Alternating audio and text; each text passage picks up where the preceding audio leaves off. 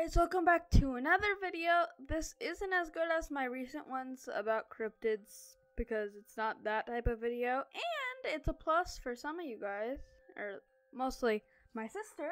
Um, in this, um, I'm as smart as a frying pan. It's um, if you if you want it, you could say it's a part two to my Septimus Heap movie video from like, I think it's like eight months ago.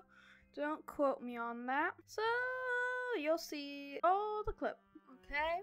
So Septimus Heap movie. Wait. Well. Um. Oh wait. Septimus Heap movie. If you search it up, there's an article. I don't know when it was added.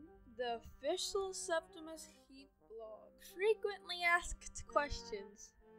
Whatever happened to the movie?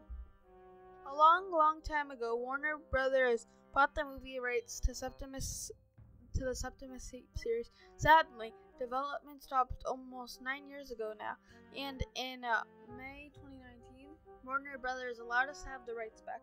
However, they do come with a few strings attached. Many things have changed since the days that we all thought that Sep, Jenna, and Vito were going to be movie stars. The big change being the rise of the series on the small screen is what we're hoping for.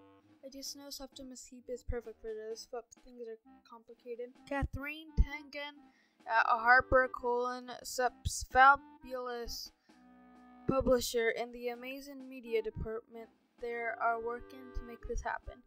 And if anything, if any end, they can. So, that's the official answer. It, it's probably gonna be like a TV show. So, rest of this video. Or that's the end of the video.